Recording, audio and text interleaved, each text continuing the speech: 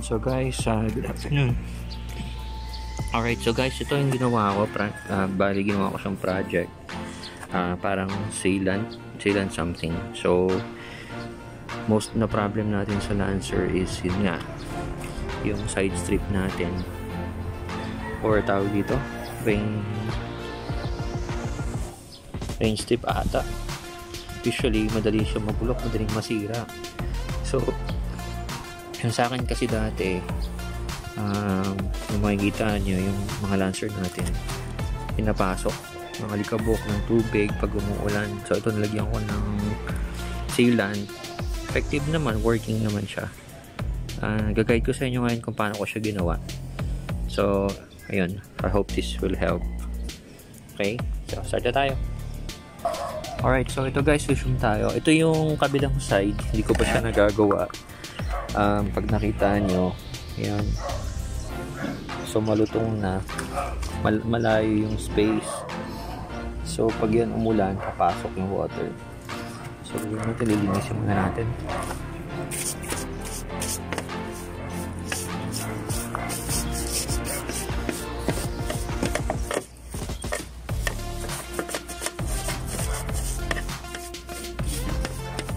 Tanggalin natin yung mga residue yung mga kalat.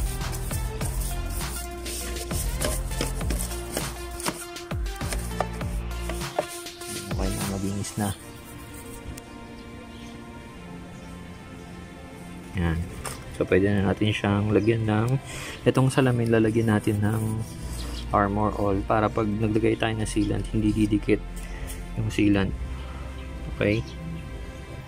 Ito guys. So lalagyan natin ng double uh, ano ba to? Armor oil yung gilid ng salamin. Para pag naglagay tayo ng sealant, hindi siya didikit. So pag binuksan mo yung pinto, mag-slide pa din.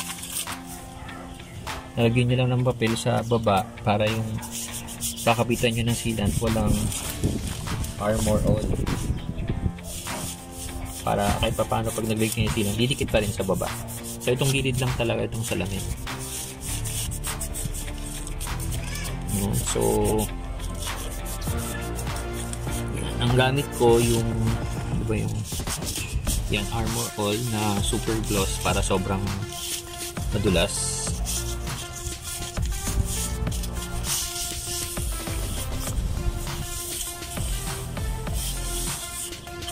Okay. So, ito guys yung gamit kong sealant. Uh, boss ni, yan, sealant so natin kasi matigas na to. Okay so tara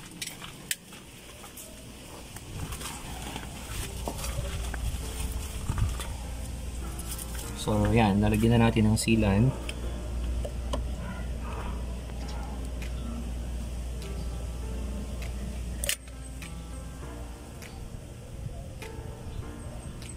sana hindi umulan pero medyo dumidilim.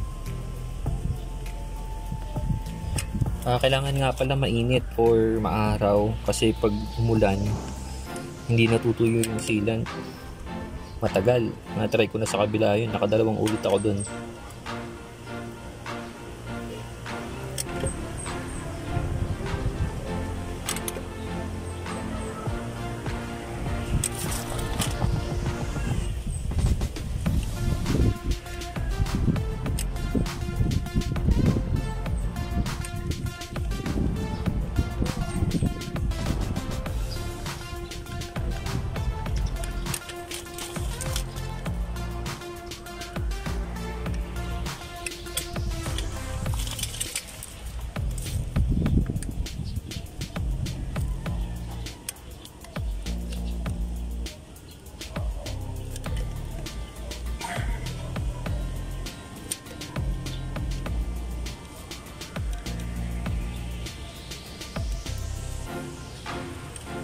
Yan, may sealant na. So, ready? Okay, so after nung sealant, uh, i-press natin siya. So, kailangan yung press nyo ako, mali yata. Yan. Press nyo siyang pa paslan para pag umulan, syempre yung tubig pababa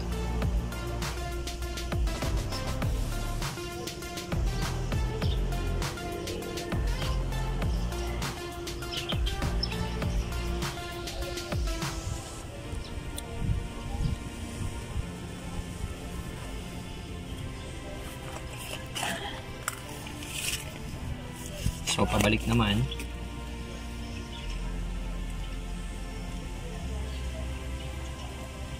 Yung mga residue, mga sobra, mga residue, sa kanya natanggalin pagka matigas na siya. So, after one day mo siya kailangan galawin ulit. Kasi kailangan matigas na matigas na. So, yan. Part dito ng lubog. So, kailangan mo siyang ayusin para hindi magstay yung tubig.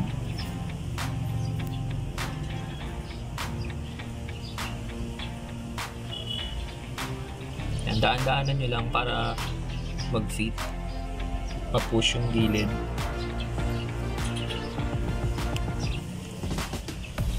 So, yan, check nyo lang na walang mga butas-butas para maganda yung maganda tingnan sa labas pag, pag tumigas.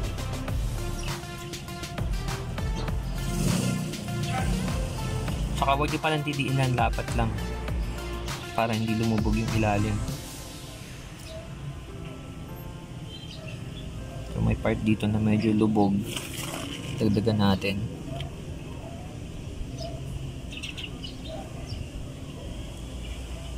Yun lang kalaban, sana wag umulan. Kasi matagal tumigas yung loob na ito eh. Dagdagan natin konti.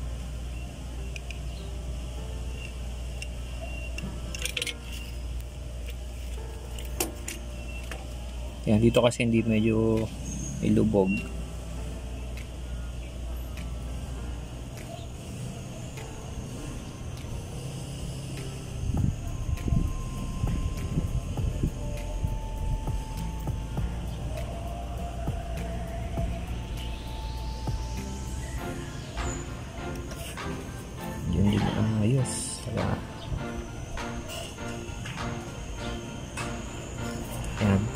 Pat, lapat lang yung kamay niyo, huwag madiin para pantay.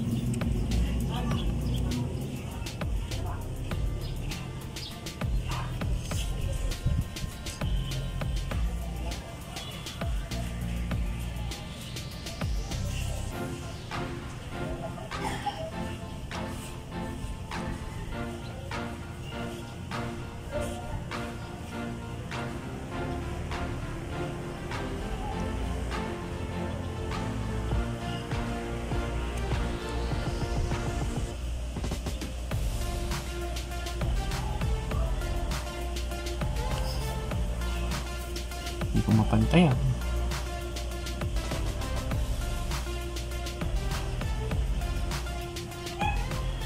Yan, okay na. So ayos na yan, iiwanan nyo lang siya. Ito, lapit mo na. Yan, so ganyan. Make sure na nakaslant, nakadikit yung kabilang side, nakasagad sa salamin. So iwanan nyo lang siya ng one day. Bukas, papakita ko sa inyo kung paano ikakat yung gilid para hindi hindi matanggal yung dikit niya sa salamin. Okay?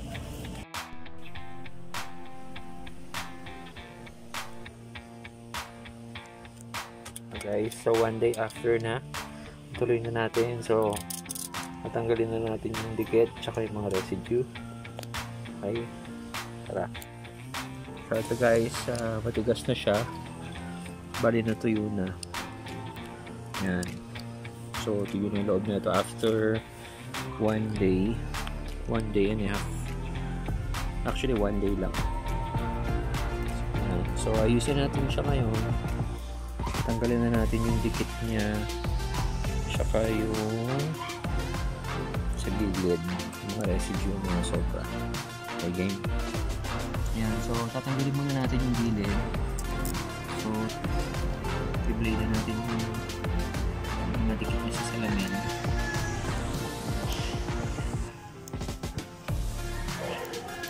So make sure na naka yung blade nyo naka-fit sa salamin.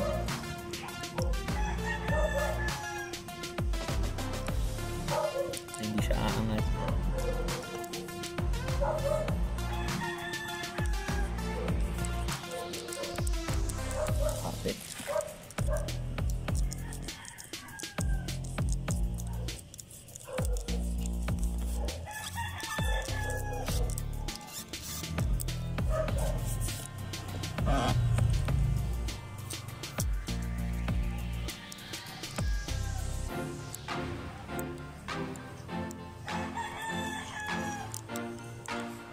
mga sobra mamaya tatanggalin natin yan. Di pangit yan.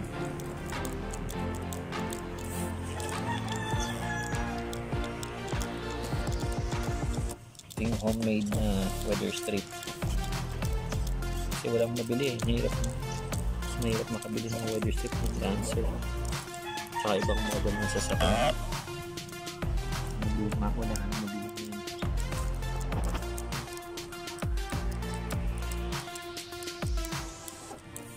ito lang yung solusyon kasi yung kabila ginilagyan ko na rin.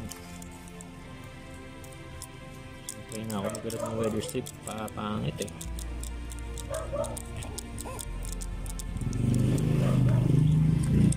Tayo sa kabila.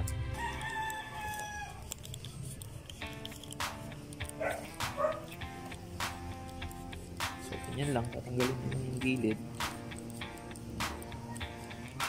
Dikit sa salamin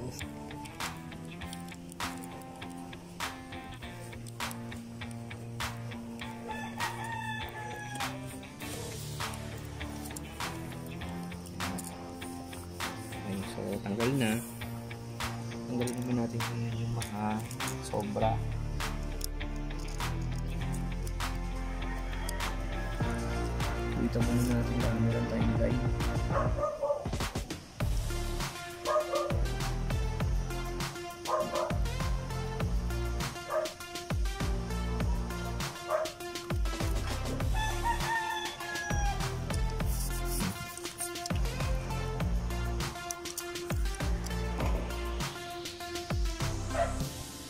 Huwag matakot kasi hindi naman magagastos sa salamin eh. Sagad nyo lang hindi yun na saktong-sakto lang.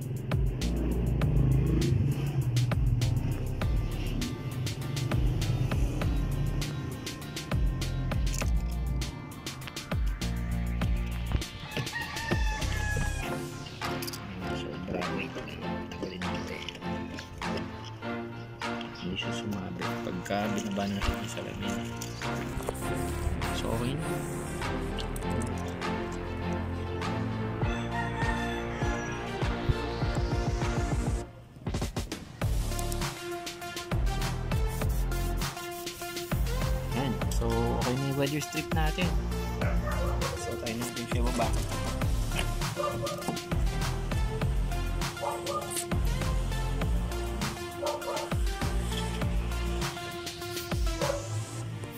So, ito, alagaan nyo na lang ng armor all para hindi siya kagad lumutong.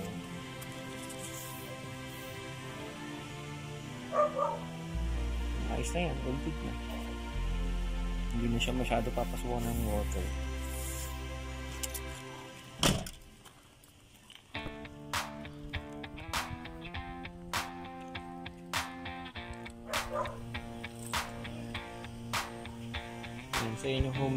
Water strip natin. So salamat guys. Subscribe na lang kayo sa anak ko sa Koi's Motovlog. Thank you.